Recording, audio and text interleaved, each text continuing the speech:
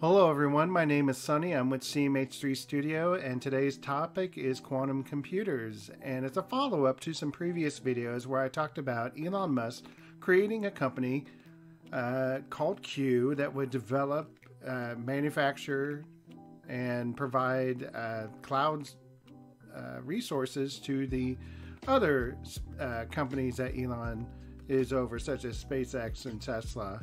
In another video, I talked about a floor by floor, um, you know, what would be on each floor. Like a second floor was fabrication, third floor was uh, the data center. But uh, today I'm taking a little step further and I want to show you what uh, this could really look like with a really nice 3D render.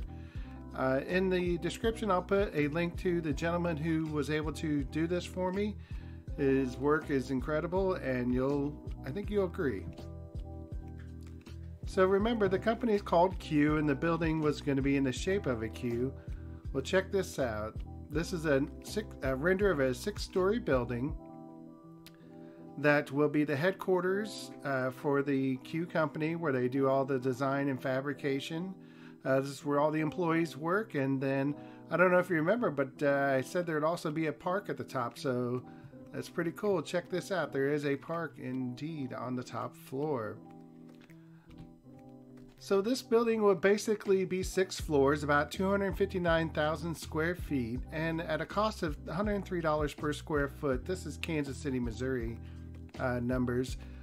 Uh, would cost about $26.6 million to build. The land itself, which would be roughly 10 acres, would cost about 750,000, bringing the total uh, land and building costs of somewhere between 27.5 and 30 million dollars to create this uh, uh, building that would house the Q company. Uh, so here's a recap if you don't remember uh, what each floor would have on it. Uh, the first floor would be the lobby where you would come into the front doors there, come into the lobby. There would be a museum about quantum computers.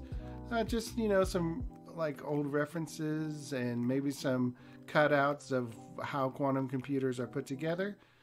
On the first floor would also be all the conference rooms, uh, the cafe, the gym, uh, a library. And then on the second floor, you would have your clean room and fabrication.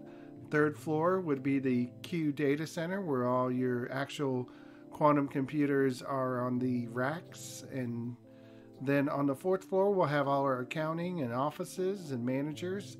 Fifth floor, we're going to have uh, research and development and also the executive conference rooms and offices. And of course, the sixth floor, if you remember, had the indoor track uh, with the park on the inside loop. So here's that floor one again. Uh, remember, uh, we changed the front door from the side here to down in the Q's tail right here. Uh, but everything else is still the same. You have your conference rooms, you have your kitchen and seating area, the gym and the library, your mail room, uh, restrooms on the north and south side. There is a guest office, and then, of course, your elevators on north and south side plus stairs. Uh, this particular uh, layout, you know, you can change it around, but uh, it's basically this is areas that are accessible. Probably not so much with security. I mean, you would definitely have security on the second through uh, sixth floor, but uh, down here you could have also possibly where you can do conventions in this uh, space as well. So it could be more than just uh, space or Q's use. The quantum companies use. You could use it for other um, city or organizational events. Moving on, this is some of the uh, inside ideas that I had for the lobby area. Again, I would probably change this to a quantum computer like chandelier. I thought that would be neat. Here's what uh, the lobby could look like from looking inside out. And then, of course, all the hallways and conference rooms around the uh, building on the first floor would look something like this as well. Here's your uh, idea for conference rooms and cafe. But here, looking from the east side of the street, you would then uh, see how this building is put together.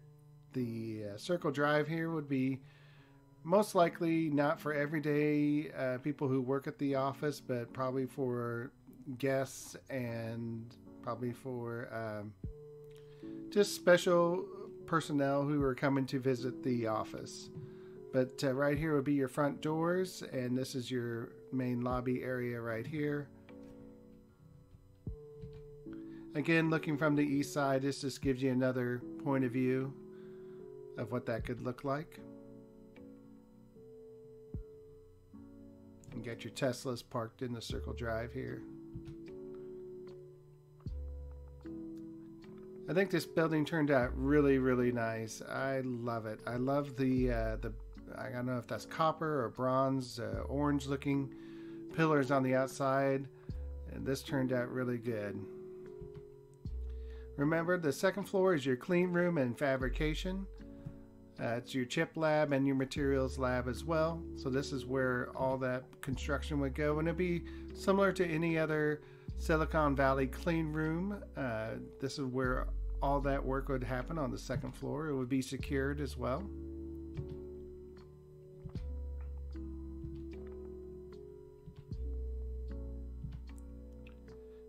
And here's kind of view from the north side of the building. Different time of day type picture. On your third floor is your Q data center and assembly. You also have your communications lab and your control room. You also have some data storage down here in the Q's tail. This is what those quantum computers on their racks would look like. I would imagine that this entire floor is filled with possibly 50 quantum computers. Another view of a quantum computer.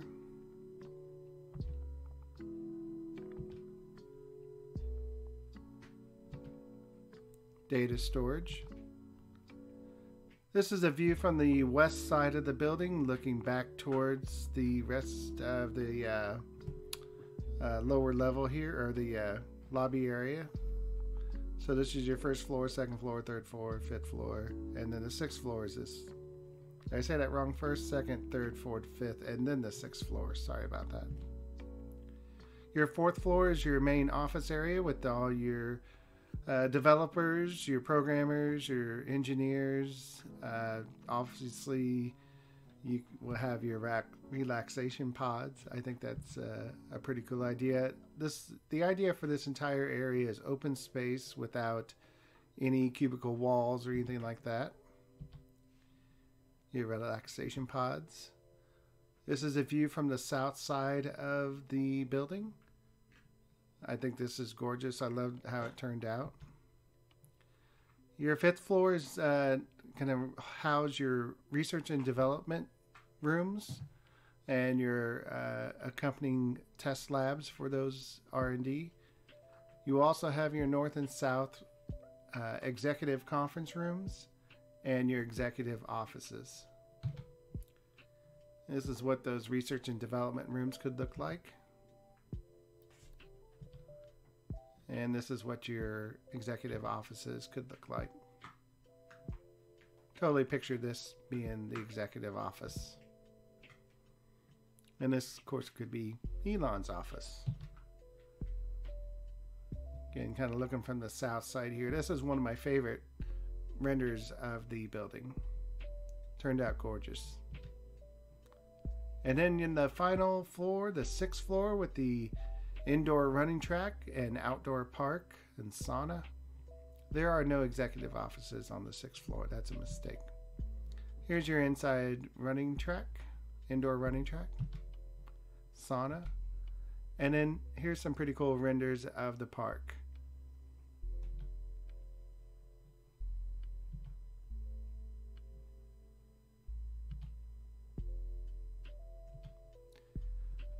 All right, guys, that's all I have for you. It's an update on the Q building. Uh, tell me what you think. Put some uh, comments in the uh, YouTube channel here or even on the library uh, video. Please leave me some feedback. I'd like to know what you think about uh, one, quant- uh, Q being an actual company that Elon would put together? And two, is this building, you know, good enough? You know, I think it turned out really nice. Uh, please let me know what you think.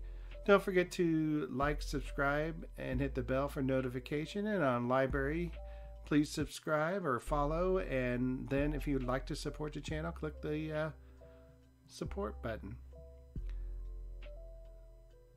Now, check out this video.